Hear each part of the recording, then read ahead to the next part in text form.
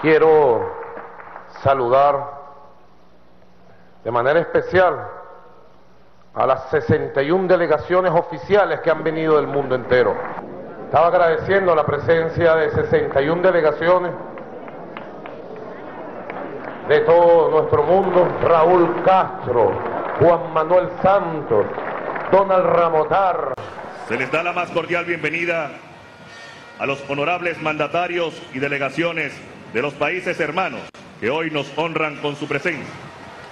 Excelentísimo presidente de la República de Guyana, señor Donald Ramotar. Bueno, y a todos nuestros amigos y amigas del mundo, al presidente Raúl Castro de Cuba, que está aquí presente, a Daniel Ortega,